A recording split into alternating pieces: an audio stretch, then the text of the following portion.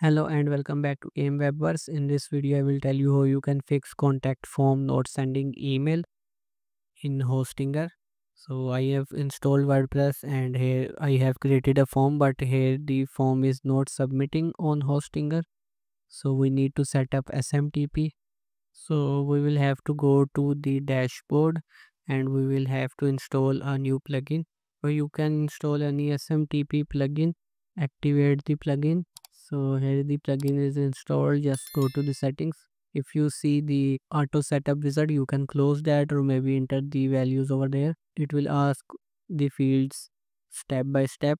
So here is the email that i want to use. Here you need to enter any email for your domain name and you need to create that email from hostinger.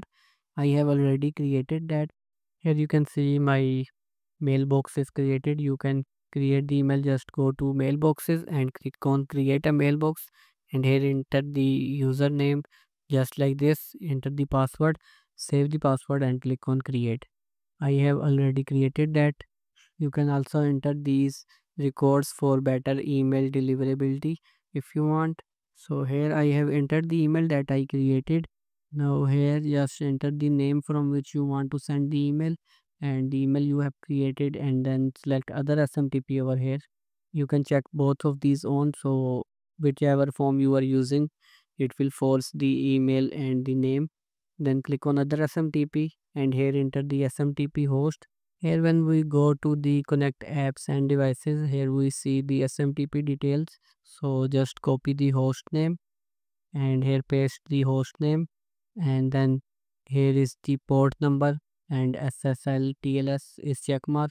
Here you need to copy the port number and here enter the port number and then here is the SSL selected over here which is correct and check the TLS on because here you can see it supports that. So then here enter the email over here again and then enter the password. It was using my previous password so now I need to add my latest password because I moved my hosting to Hostinger.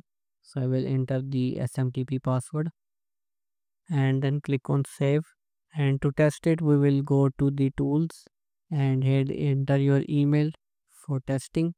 Click on send email and here you can see test email has been sent successfully. Now go to the email account and check if you have received the email.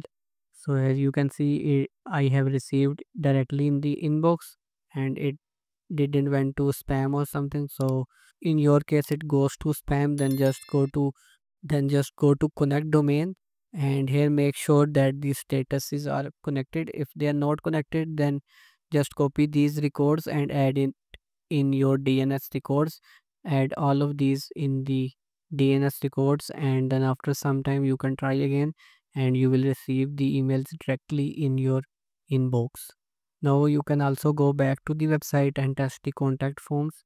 If this tool has sent the test email then it means that SMTP is configured and the contact forms should be working now.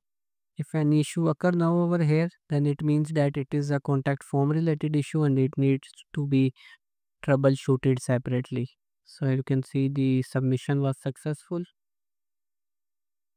I have received the details on the admin email as you here you can see so that's it for the video. If you need any help do let me know in the comment section or you can also contact me through my website. My contact details are provided in the description of the video. Like this video leave your comment and subscribe to my channel for more related videos. See you next time